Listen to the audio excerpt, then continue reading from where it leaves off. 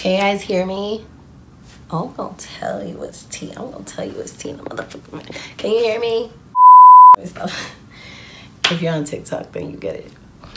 But hi guys, it's Ashley, aka Foxy Vegan. Welcome back to my channel. So today I'm going to show you what I eat in a day during quarantine. I know we're all in quarantine and we're all bored in the house in the house bored. So I'm gonna show you what I eat. Everything is vegan, pretty healthy, but still good and filling. If you're interested, stay tuned, watch the video, enjoy, recreate it, and if you do, tag me on Instagram, underscore Foxy Vegan. So yeah, that is it, and hopefully you enjoy the video. So, bye. Okay, so the first thing I do in the morning is drink some water with my vitamin C pill to help my immune system, which is really important during this corona time. Then I make my turmeric tea and I boil some water in the microwave and I'm gonna add turmeric, lime juice, ginger, and apple cider vinegar and then just mix it all up until it's all together.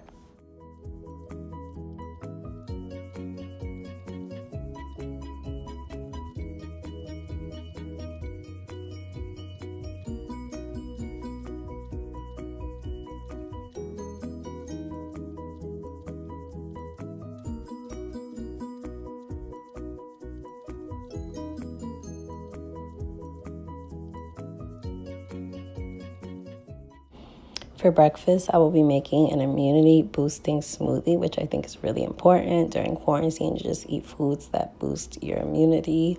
So I will be adding apples, um, oranges, cucumbers, ginger, and kale and I'm adding everything that's hard to the bottom of the blender and everything that's soft to the top because obviously the harder things um, it's going to take a little more to blend them so that's why I like to add it to the bottom. My kale is in a baggie because it was frozen. I just like to do that sometimes to make my fruits and veggies last longer and then I will be adding lime juice just to finish it off and some water and then some ice just to make it cold.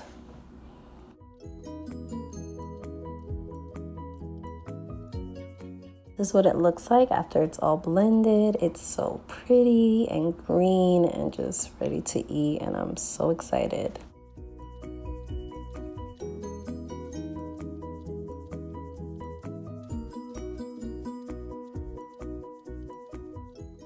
I also added toast with peanut butter and chia seeds just so that my breakfast won't be all liquid. For my lunch, I will be making a cranberry chicken wrap, which is so good. And I will be using um, these veggie chicken strips from Morningstar Farms. And you just want to start by cooking them on the stove um, in low to medium heat until it's brown. And it already comes seasoned, but I just add my own seasoning. So I'm adding garlic pepper, cilantro. I love cilantro, so I always put a lot. Um, paprika, and onion powder. And this is what it will look like when it is all done. I like to cut the chicken up just to make it more of it. Then I put it in a bowl and I start adding my dried cranberries to it, and this will make it sweet. And then I add the vegan mayo. This is Hellmann's vegan mayo. And um, after I add it, this is how it looks. And then now it is time for me to add all the seasonings that I used for the chicken to this.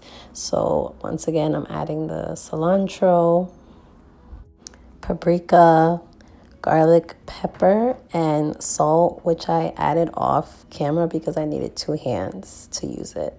But I definitely added salt in the chicken and then again in the mixture. So then I'm just mixing it all up to make sure all the flavors are incorporated and then I added some lime juice and some agave.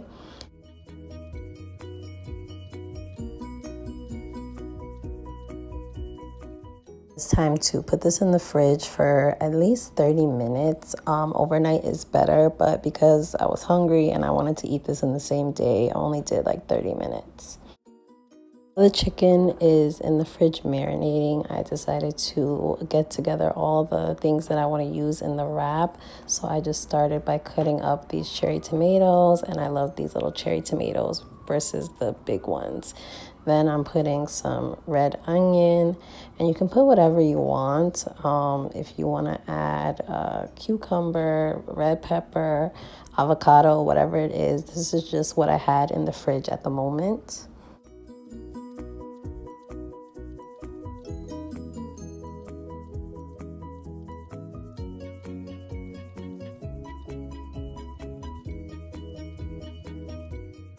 And this is what it looks like after it's all done. This is so good. If you like sweet and savory at the same time, then you will definitely love this.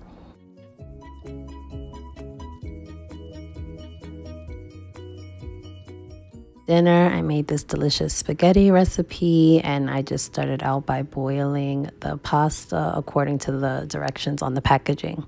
And if it sticks to the wall like this, then you know that it is ready. And after I drain the spaghetti, now it is time for me to start making the meat sauce. So this is the ingredients that I will be using. We have Italian seasoning, garlic, basil, salt, pepper, everything. And then I will be using this tiny little bit of vegan cheese that I have because I cannot let it go to waste.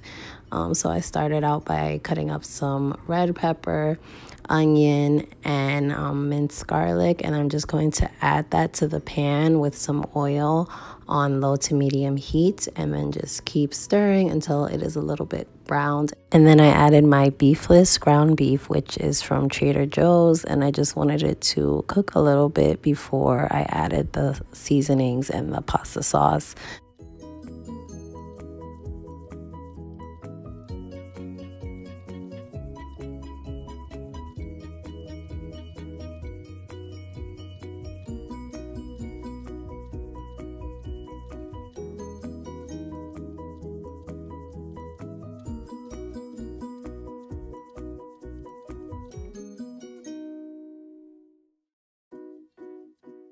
So when I add my pasta sauce, I don't like to use the entire thing. I like to use like half pasta sauce and half water just to thin it out a little bit, um, just because that's the consistency that I like. And then also um, it helps you not use up all your pasta sauce as fast.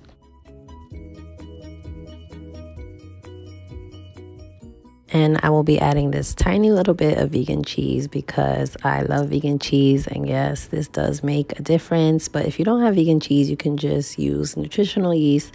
And even if you don't have that, um, this is still good without cheese. So don't worry about the cheese part too much. So now I'm going to add my secret ingredients, which is hot sauce just to give it a kick, and then sugar because sugar belongs on spaghetti. Do not argue with me, argue with your mom.